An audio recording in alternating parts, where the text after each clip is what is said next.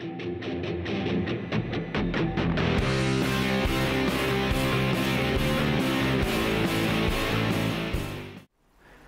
and welcome. If you are running one of these modern two-piece cranks where the axle is attached to one of the cranks and then the other just attached, I will show you a simple check that you should do on a regular basis, once per month or even more frequently if you ride a, lot of miles, to prevent any sort of catastrophic failure and, and injury. Those are things that even a helmet may not prevent uh, or protect you from. So I will show first what I'm doing, then I will explain the risks and then I will show you the exact procedure of, of how it's done. So let's first uh, skip right to it. Uh, by the way, Shimano's uh, design is probably the best from the engineering standpoint, but overall the two-piece crank system modern is not bad in terms of performance and weight and uh, safety compared to, for example, the square taper where you cannot do any preventive maintenance or checks in any reasonable way but here you can and here I'll show you what I'm doing. So then I will explain it step by step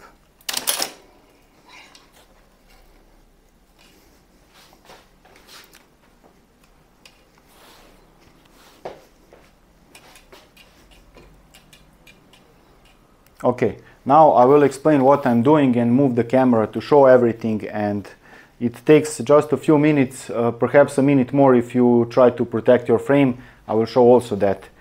So the thing is, this is, uh, if you don't buy the high-end stuff that's uh, super light and every millimeter of material is removed to make them super light, the mid-range and low-end uh, Shimano, for example, two-piece cranks are reasonably safe and they safe and they have a lot of material.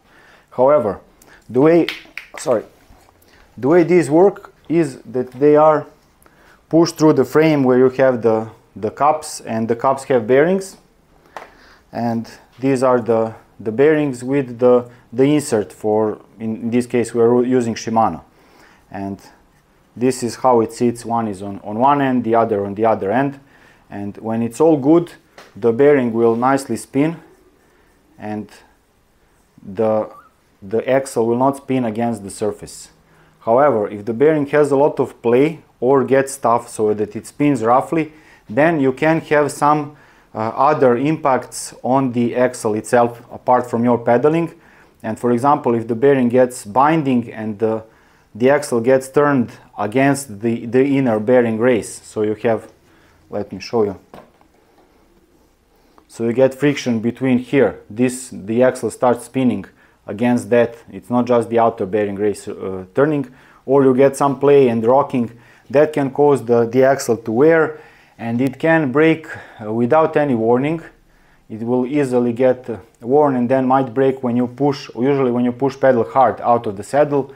And when that happens, the leg that you were pushing with will drop freely. Uh, you will lose any sort of pedal resistance suddenly and your bike will swerve sharply and suddenly in that direction and if you're going into oncoming traffic or someone is overtaking you or there's a cliff you can get seriously hurt and it's easy to prevent it just by making sure that your bearings are intact.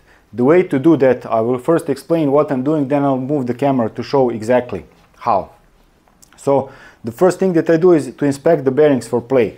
To do that I put one hand on one crank, the other on the other and try to to rock them like this, it, they should always provide some resistance in any direction. If I can easily move them and feel some rocking, that's not good. And I do that on vertical and on horizontal and on a few other positions because sometimes bearings don't wear evenly. So at least uh, try them in, in two axes. That's the first thing. The second is that the, your uh, cranks should spin freely when there's no chain attached to them. I've moved the chain away, I'll show how I did that. Sorry. When there is no chain, they can spin freely and you can see if there's any friction, you can feel it easily. You could remove the cranks and check the bearings by your hand for any binding, but if there is any significant binding that would cause the, the axle to spin uh, without the bearing really spinning, you will feel that even this way and that takes only one minute, so it's practical to do on a regular basis. However, uh, what I see many people make mistakes with regarding this, this is just a side note. The bottom bracket bearings take all your weight and force when you're pedaling, so they need a reasonable amount of preload. And uh, yes, it's not ideal that they put these standard bearings, not uh, angled cone bearings on bottom brackets. That's a separate topic for a separate video, the nonsense in the cycling industry. But even with those, you need a certain amount of preload because when you do not have preload, when you apply some force, torque, uh, because materials deform elastically, so they uh, bend a bit back and forth. When you don't have enough preload, you will get play once you put some uh, it, so they should not spin too freely, just not feel any roughness in spinning. But compared to a wheel, I will spin them both at the same time to show you how much longer the wheel spins. I don't even have to do it at the same time. And this is the rear wheel, the front wheels can spin even, even longer. It's normal for the cranks to have some resistance and do not, to not spin as much as possible. It's important that you don't feel any roughness when they're spinning, but having some resistance is actually optimal and that's how it should be. When you put it on the road, it won't make any problems, quite the opposite. So that's the, the basic idea. Now let's, to, let's show what I am doing exactly. So regardless of whether you have a triple or a double or a one by, you could and should shift to the smallest sprocket in the rear to give your chain some slack to make it easier for you to work. So that's the first thing to do. Shift in the, to the rear, to the smallest. Don't do this, I'm a trained professional. And also if you have multiple chainrings in the front, shift to the smallest front chainring. That will make it easier for you. On one by systems you can remove the chain on the outside, let it hang, perhaps protect this from any chain scratching, but on most other bicycles with front derailleur you can more easily put it away on the inner side and that is what we will do. But first we will protect the frame from any scratching. Now I'll move the camera to show that part.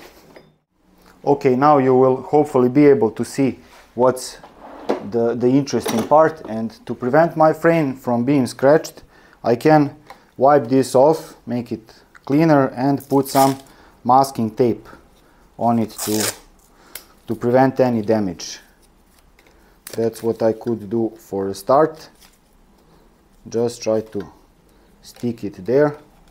And I will remove that once I'm done. I can put several layers if I wish to be really thorough and I'm really worried about scratching my bicycle. Or you could put a cloth there. And then you will remove the, the, the chain from the lower side. You can easily get it to get out and place it there and that's it. That's the whole procedure. And now you can do everything that you need to do. And then to return it you just get some slack of the chain and start from the upper side and gently put it up on or put it from the from the lower end which is a bit more awkward at least for me.